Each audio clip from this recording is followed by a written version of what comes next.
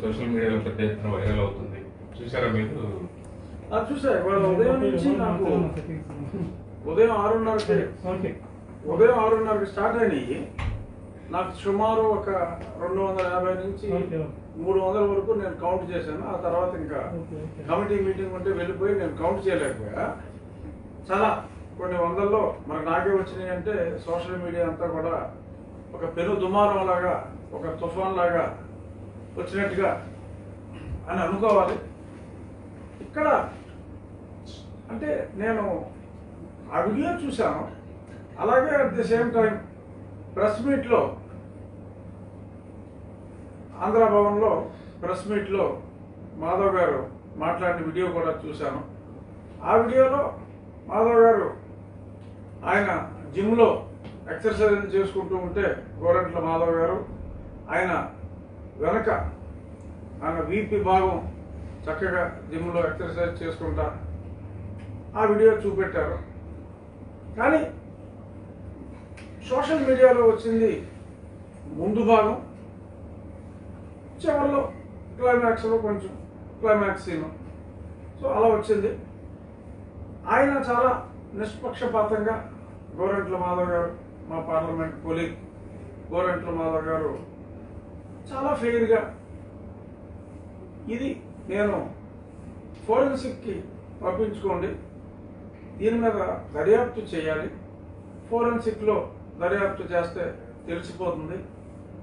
ఈ social media వాళ్ళని ఇది ఎవరైతే చూశారో చూసిన వాళ్ళని అందరి మీద కూడా నేను కేసులు పెడతానని చెప్పి ఆయన స్పందించారు. డెఫినెట్గా ఆయన స్పందనలో ఎటువంటి తప్పు లేదు. బట్ సునీల్ కుమార్ గారు అత్యంత ఆవేశంతో మరి ఇప్పుడు ఈ చూసిన వాళ్ళని ఈ షేర్ చేసిన వాళ్ళని అరెస్ట్ చేయాలంటే చెప్పాలంటే వాళ్ళ రాష్ట్రంలో ఉన్న ఐదు కోట్లలో కనీసం ఒక నాలుగు కోట్ల మందిని అరెస్ట్ చేయాల్సి వస్తుంది. ఆ చూసిన వాళ్ళు ఫార్వర్డ్ చేసిన వాళ్ళలో మా సీఎం ఆఫీసులు కూడా ఉండి ఉండొచ్చు డెఫినెట్గా ఎందుకంటే కంగారు పడతారు కదా. సో మరి ఆ ఫార్వర్డ్ చేసిన వాళ్ళు అంటే మరి నాలుగు కోట్ల మందిని జైల్లో పెట్టాలంటే ప్రపంచ దేశాల్లో ఉన్న జైలు కూడా సరిపోవు కాబట్టి మరి కాస్త మనం పాటించి ఆ ఫోరెన్సిక్కి ఇమీడియట్గా పంపిస్తే మన రాష్ట్ర ప్రభుత్వం అఫీషియల్ ఫోరెన్సిక్ ల్యాబ్ కాకుండా వేరే రాష్ట్రం అలాగే ప్రైవేట్ ఫోరెన్సిక్ ల్యాబ్స్ కూడా వచ్చినాయి. అక్కడికి పంపిస్తే మన వీడియోలో చూసిన ఫ్రంట్ ఆయన వీడియోలో చూపెట్టిన బ్యాక్ ఒకటో కాదు ఈజీగా తెలిసిపోతుంది. డెఫినెట్గా తెలుస్తుంది. బట్ నేను ఇంకా వైకాపా సభ్యున్నే కాబట్టి డెఫినెట్గా నేను కూడా మాధవ్ గారి అభిప్రాయంతో ఏకీభవిస్తూ ఆయన కోరిన విధంగా ఆ ముందు వెనకల్ని పరిశీలించి రెండు మూడు రోజుల్లో నిజ నిర్ధారణకి వచ్చేస్తే ఈ దుమారం సెటిల్ అవుతుంది. లేదంటే మహిళల్లో ఇది ఒక విప్లవంగా మారి అసలే మా ముఖ్యమంత్రి గారు మహిళల్ని అవమానంగా మాట్లాడినా ఇటువంటివి అసలు సహించే గుణం కాదు. ముప్పై రోజుల్లోనే అన్ని శిక్షలు అవసరమైతే ఉరి శిక్షతో పాటు వేయాలనే ఒక సత్సంకల్పం ఉన్న ఒక మహానుభావుడు మా ఎడుగురు సంధించి జగన్మోహన్ రెడ్డి గారు. మరి ఆయన ఇది త్వరగా ఒక రెండు మూడు రోజుల్లో రిపోర్ట్ తీసుకొచ్చి ఒకవేళ మాధవ్ గారు ఆ స్త్రీని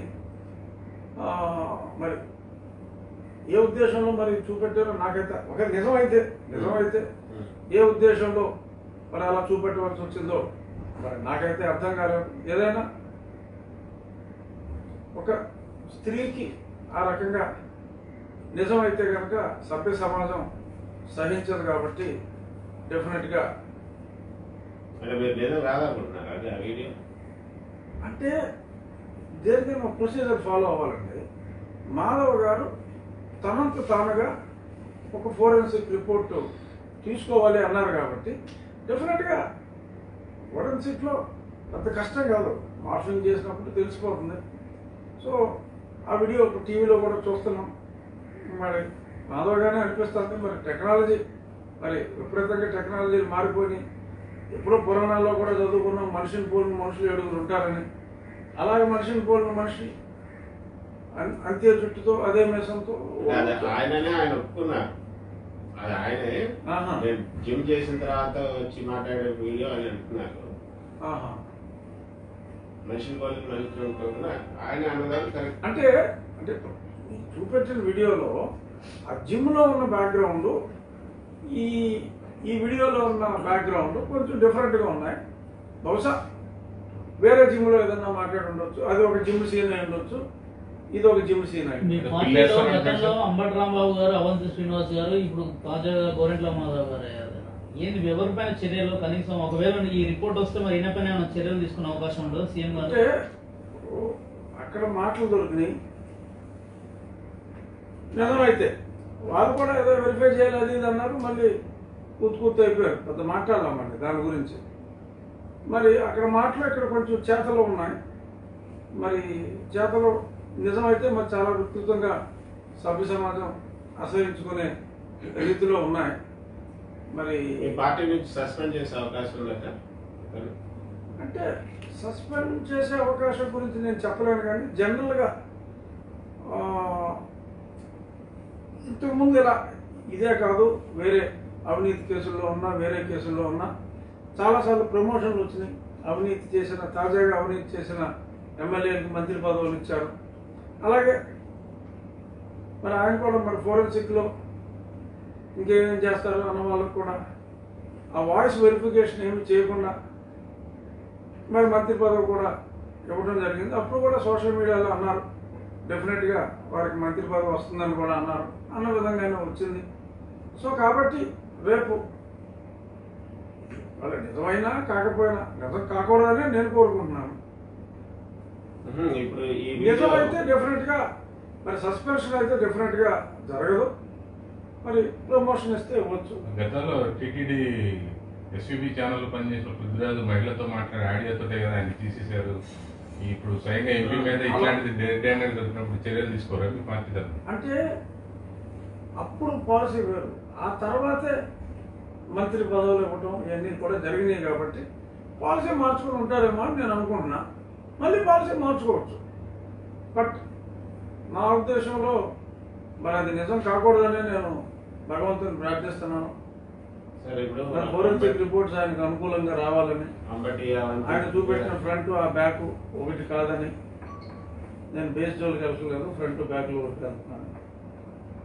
కాదు సార్ అంబటి అవంతి పృథ్వీరాజు తర్వాత ఇప్పుడు ఈయన వీళ్ళందరూ ఇట్లా మహిళల పట్ల ఇంత అసభ్యంగా ప్రవర్తిస్తుంటే మీ పార్టీకి మహిళా మహిళల మహిళా లోకంలో మీ పార్టీ పట్ల ఒక విధమైనటువంటి దేహభావం కాదా?